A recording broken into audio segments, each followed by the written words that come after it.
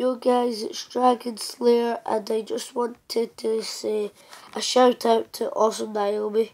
She is a great friend, a great, great, great, great friend. Great, and I mean great, great, great, great friend, alright? And uh, she told Awesome Naomi is her YouTube name and got my little Mr. Nami here, my little teddy bear since I was one. I meant since I was born. And shout out to her, she she commented and should I do cinnamon? Should I do cinnamon challenge video? And she commented yes.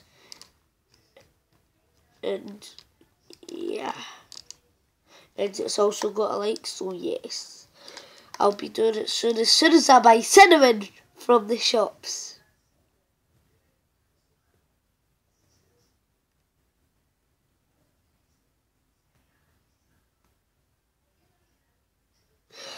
And also I'm doing the salt salt and ice challenge. It's not that big of a deal, it's just putting salt on your arm and then ice and then having ice on your arm for a minute which is 60 seconds and then pressing it down for 60 seconds and then you have massive blisters or scars.